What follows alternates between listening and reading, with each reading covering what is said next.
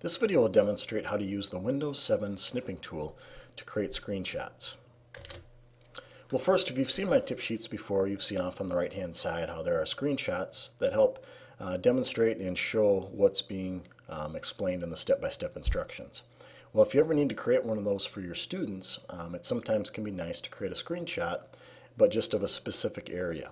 So I'm going to demonstrate how to do that with the Windows 7 um, snipping tool. Uh, first of all, a lot of people don't know that this exists within the operating system, so I'm going to show you where to find it.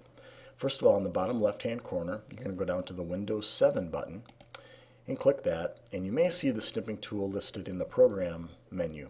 If you don't see it listed there, just do a search in the search box. So I could just do a search here for snipping tool, and then under Programs, just click Snipping Tool. Your screen is going to kind of turn white and you'll see this little uh, window here saying to drag the cursor around the area you want to capture. So I'll just click and drag and kind of capture this selected area. So again you can see it only, it only captured just the area that I um, drew the box around.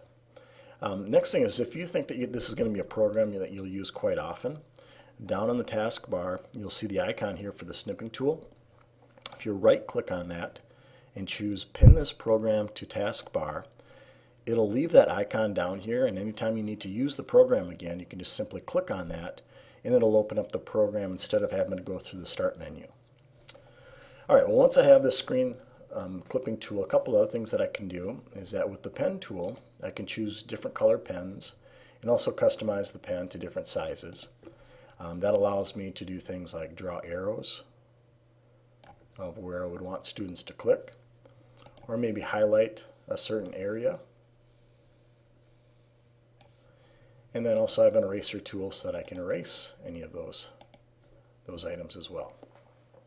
Well, once I have my screenshot the way I want it, can click the Save tool, and then I can save it as a PNG, which is a good file type for pictures, otherwise uh, GIF or JPEG. And then I'll just click Save wherever I want to save it. The other option I have is just to copy the image. It'll copy it to the clipboard and then I can paste it inside PowerPoint or my Word document, whatever it is that I want to use. This video demonstrated how to use the Windows 7 snipping tool.